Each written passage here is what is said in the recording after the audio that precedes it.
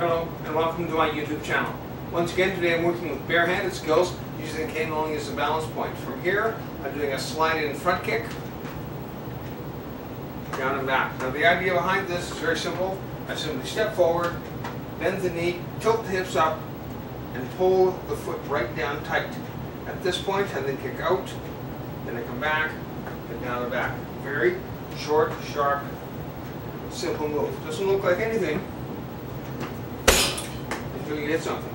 Even in the air, doesn't look like anything. Same thing on the other side. Simply step, the support foot's turned at a bit of an angle. Then I cock the hip forward, lift the knee up, the foot can go out, then down and back. Nice and simple. And I can add to it.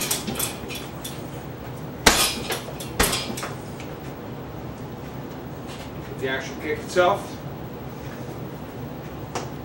looks like nothing.